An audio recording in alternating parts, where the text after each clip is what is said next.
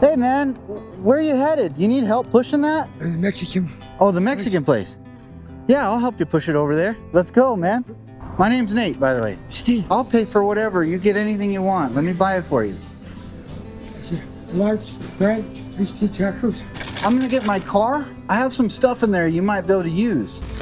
Here's five pairs of socks, man. Here's a backpack. Would you like a new hat? Yeah, take it. This is a sleeping bag. If there's anything I could get for you today that would make a big difference, what would it be? Radio. LMF. So perfect. Check it out. It's got four-way power. You could use batteries, solar, you can crank it. Wow. For a while, start using grab the headphones. Tried to help myself. I like to help. Yeah. Let me see, hold on, let me make sure. It's good. I can hear you. Enjoy your lunch. I- I'm gonna go, Thank you. of course.